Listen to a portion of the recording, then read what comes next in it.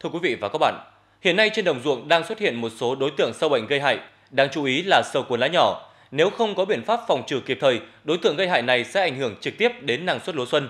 Thời điểm phun trừ sâu cuốn lá nhỏ hiệu quả nhất là từ 30 tháng 4 đến ngày 3 tháng 5 năm 2017 với diện tích toàn tỉnh hơn 50.000 hecta. Theo điều tra của Tri Cục Trồng Trọt và Bảo vệ Thực vật tỉnh Thái Bình, sâu cuốn lá nhỏ lứa 3, sâu non nở rộ từ 29 tháng 4 đến ngày 4 tháng 5 với mật độ trung bình từ 40 đến 50 con một mét vuông, nơi cao từ 100 đến 150 con một mét vuông và cá biệt có nơi mật độ từ 200 đến 300 con một mét vuông. Sâu cuốn lá nhỏ gây hại bộ lá đồng ảnh hưởng tới năng suất lúa. Ngành nông nghiệp và các địa phương tăng cường kiểm tra đồng ruộng, hướng dẫn nông dân biện pháp phòng trừ kịp thời, hiệu quả.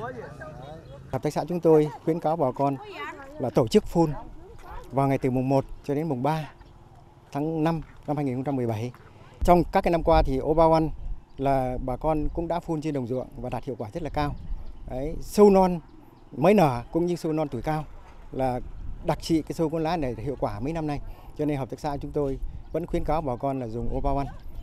Bên cạnh cái việc sử dụng thuốc trừ sâu cuốn lá thì hợp tác xã chúng tôi khuyến cáo bà con kết hợp với lại ờ, thuốc uh, T Super 300 để phun đặc trị cái khô vằn. Chúng tôi đã dùng nhiều ờ, vụ của phun của thuốc Oma On là chúng tôi rất thấy là hiệu quả. Trong nhiều năm qua thì hợp tác xã đã đưa về và khuyến cáo là nhân dân dùng thuốc này để cho đạt hiệu quả.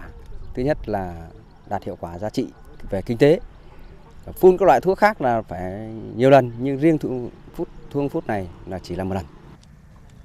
Bà con nông dân lưu ý, thời điểm phun thuốc phòng trừ sâu cuốn lá nhỏ hiệu quả nhất là từ 30 tháng 4 đến ngày 3 tháng 5 năm 2017. Đặc biệt với những ruộng chân quần ven làng, ruộng lúa xanh non, lúa gieo xạ, ruộng bón thừa đạm và ruộng bị đạo ôn đã phục hồi để phòng trừ hiệu quả. Thuốc trừ sâu cuốn lá Obawan 95 cấp G là gồm hỗn hợp của hai hoạt chất đó là E3 Martin và Indosacap cho nên là hiệu quả diệt trừ sâu cuốn lá rất là cao. Ờ, Obawan 95 VKG là thuốc nội hấp à, lưu dẫn và có hiệu lực kéo dài, à, không có sông hơi. Obawan là một cái sản phẩm thuốc trừ sâu cuốn lá rất là khác biệt. Bởi vì uh, 95 VKG diệt trừ con sâu cuốn lá tuổi nhỏ và sâu tuổi lớn rất là tốt.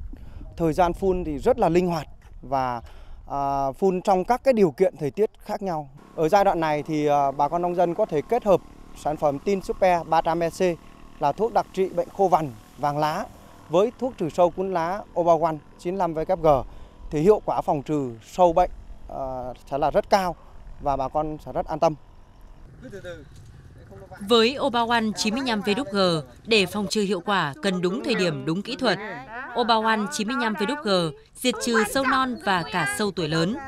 Obawan 95VG là thuốc nội hấp gồm hỗn hợp của hai hoạt chất trừ sâu nên hiệu quả cao hơn.